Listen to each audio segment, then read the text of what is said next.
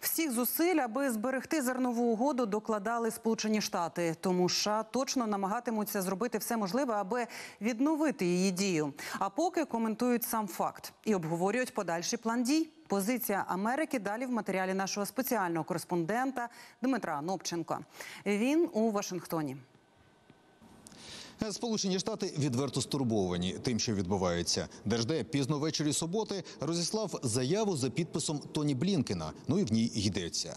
США закликають всі сторони підтримувати цю важливу ініціативу, яка рятує життя. Бо завдяки ній вже було перевезено понад 9 мільйонів тонн продовольства. Вдалося знизити ціни.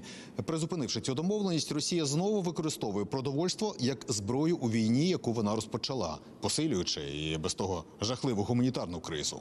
Штати закликають Москву відновити свою участь в ініціативі і повністю дотримуватися домовленостей.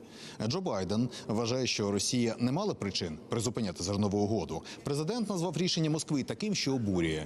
Глава держави зараз у рідному Делавері, де він прожив багато років, де і досі будинок його родини. Там він достроково проголосував на виборах в конгрес. Ну і оскільки журналісти в цій поїздці супроводжують президента, у них була можливість е, дізнатися його першу реакцію. Це просто обурює. Це посилить голод. У них немає причин це робити, але вони завжди шукають якесь обґрунтування, щоб сказати, що причина, через яку вони роблять щось надмірне, у тому, що захід змусив їх це зробити, і це просто нісенітниця. У тому, що вони роблять, немає нічого гідного. ООН домовилася про цю угоду, і крапка. Щодо ООН, там, звісно ж, стурбовані і розчаровані, бо доклали багато зусиль для укладання стамбульської угоди. Отримали повідомлення про рішення Москви, намагаються бути в контакті з Росією і закликають до стриманості, щоб поки можливо врятувати домовленості. Вкрай важливо, щоб усі сторони утримувалися від будь-яких дій, які могли б поставити під загрозу чорноморську зернову угоду, що є критично важливою гуманітарною ініціативою і має позитивний вплив на доступ до продовольства для мільйонів людей у світі.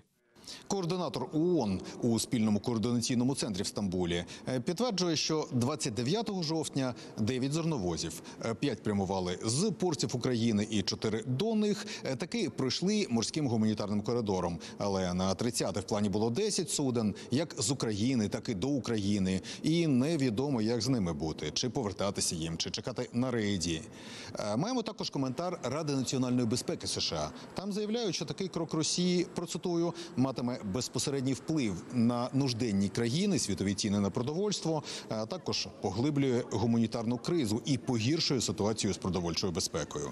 Речниця Радбесу Едріан Вотсон каже, що рішення Москви це використання продовольства як зброї.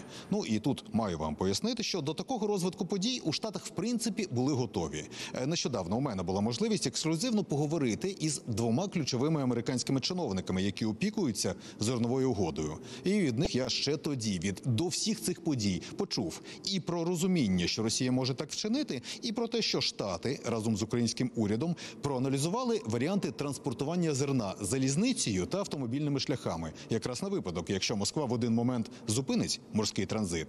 От послухайте, що мені пояснювали. Ще раз зазначу, це було ще до заяв Москви. Коли ми маємо справу з Росією, завжди виникає ризик безвідповідального ставлення, і цілком вірогідно, що вони можуть зірвати цю угоду. Ми дуже активно працювали, щоб не тільки розблокувати чорноморські порти, що було критичним для того, щоб світ отримав українське зерно, але й для того, щоб покращити здатність України використовувати автодороги, щоб здійснювати експорт. Е, Тобто ситуація, звісно ж, складна, але не критична. Хоча б тому, що як нам стало відомо, ще із вересня реалізують план Б, запасний план, якраз на випадок таких подій, як зараз. Ну ось послухайте, що мені тоді пояснювали.